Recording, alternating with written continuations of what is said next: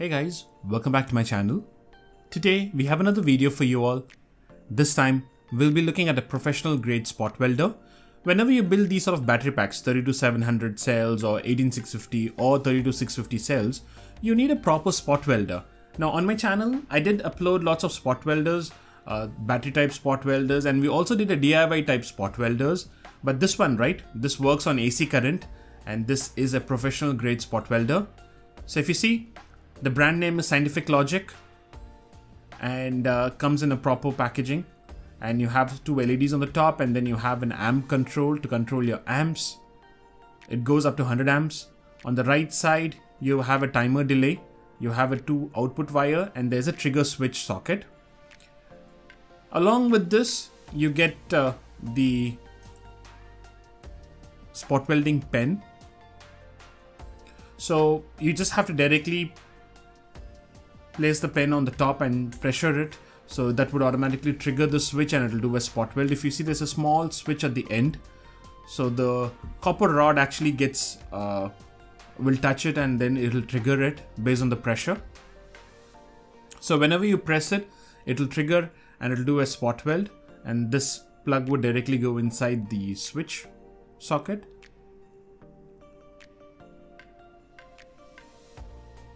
So this is a pretty simple type mechanism. Or you also get a foot pedal. So you could directly put it in the socket and use your foot to trigger it on off. So what I actually did was the wire length for me was small. So what I did was I uh, cut off the wire and then I used 6 gauge high quality silicon wire. So these are thick wires, high flexible as well. So the advantage here is that it'll be easier for me to like move it around and when I connected it, make sure that I used proper copper wires and all that and it's a strong connection. So now it's easy for me to like move around and it works for me easily. So if you need the spot welder, you could get it from my website and this spot welder comes with one year warranty. You also have a cooling fan at the end so that this can work continuously.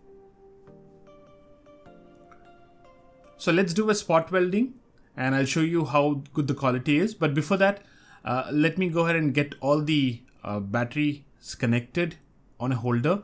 The one that I'm making is a 36 volt 12Ah battery pack. The reason why I'm doing a 12Ah is because that was the requirement that I received uh, from a customer. So that's the reason I'm building that. If you need any sort of battery packs, you could reach out to me. I'll be able to help you out in building battery packs. Uh, or if you need raw materials, you could buy it from our website.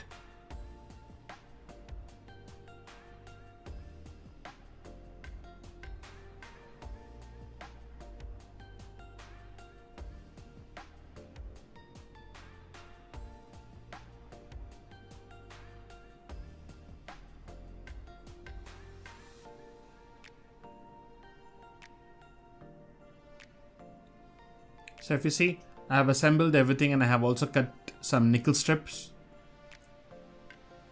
And the nickel strip that I'm using is a 1.2 mm nickel strip. So now let's power on the device.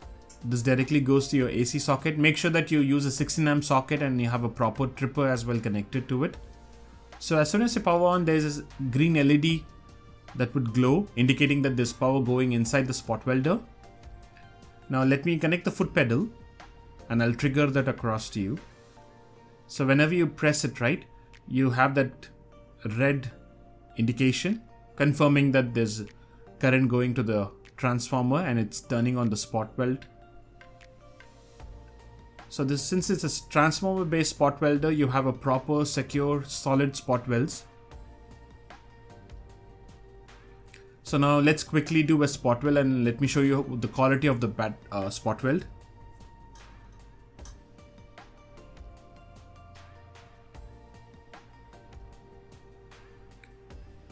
So this battery pack actually is going to be used on e-cycle.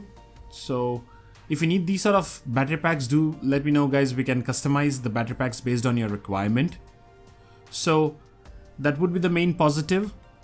And then I have connected all the cells in parallel, one each to other, but on the side, right? I have kept it vertically. So that would be the main positive and the other side would be the main negative. So that's the main positive. So the bottom negative side will get connected with the positive side of the next battery. So let's do a spot weld on that. So the extra nickel strip is to connect balancing lead. That's the reason why I kept some extra wire at the end.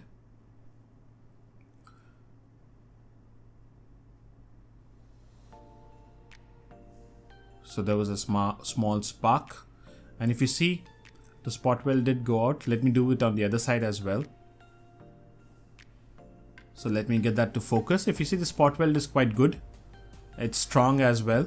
I can't peel it off and I don't want to uh, destroy it. Spot weld is good. I'm quite satisfied with it. Now let's quickly do a spot weld for all the sides and then I'll show you how it looks like.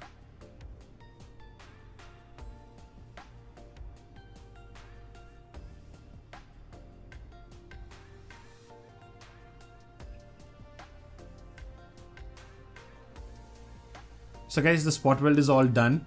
I have kept a Kapton tape on it just to insulate because the battery is live now. So if you see the spot weld is quite good, it's quite strong. And uh, yeah, this spot weld did turn out to be really good guys. So this is a 36 volt battery pack. So I've connected all the balance sheets on the sides and on the top I'm going to put some epoxy sheets on the sides as well and on the top and then heat shrink it and that's the BMS. So it's a 36 volt 12H battery pack. This can be uh, used on motor controllers like e-bike. Uh, this is the e-bike kit. If you need this sort of e-bike kits, it will be there on my website. You could buy it from there. So I could certainly recommend buying the spot weld. Works really good if you want to build a huge number of battery packs but if you're going to just do it as a hobbyist, then you could buy a boat type spot welders as well. So thank you so much for watching guys. Stay tuned and on the next video you'll be uh, looking at the video for building an e-cycle. If you haven't subscribed to my channel, do subscribe to it. Stay tuned. New videos will be coming out shortly. Thank you so much for watching guys.